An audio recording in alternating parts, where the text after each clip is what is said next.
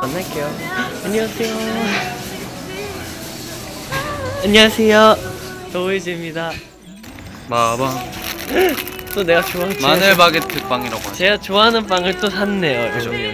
딱 봐도 맛있어요.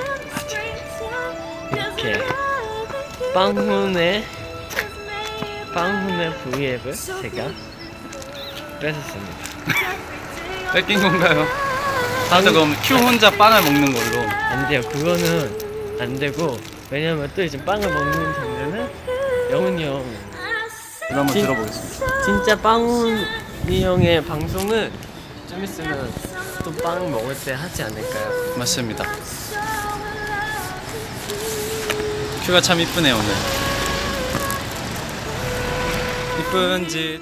영훈이 형은 빵을 먹고 빵 어디? 빵을 먹고 저는 피자를 먹겠습니다. 노. 왜냐면 지금- 아니요 저는 근데 피자도 빵이에요. 아니. 부어 그 왜냐면 형이 산. 형이 산 그럼 제가 먹고 싶은 아 진짜 너무 맛있겠다.